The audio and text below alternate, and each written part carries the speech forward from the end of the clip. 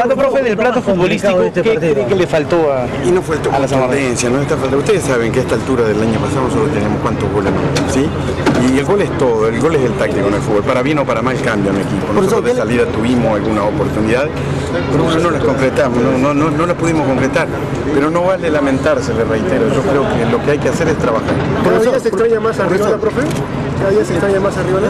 O sea, de, de ninguna manera yo voy a hablar de detalles puntuales. Tú me conoces, tú estás todos los días en la cancha, sabes que yo no señalo, no destaco a nadie, ni critico a nadie. Puro partido. Al final medio que se animó, animó, habló, afloró fútbol de parte de ambos equipos.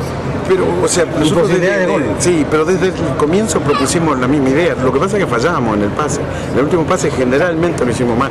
El pase certero, el pase que deja de cara con el arco al delantero. Pero bueno, hay que trabajar. González Vigil quedó solo en un mano a mano con Barro. Gracias, muchachos.